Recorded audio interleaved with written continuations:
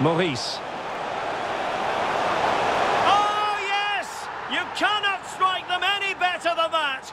Brilliant goal!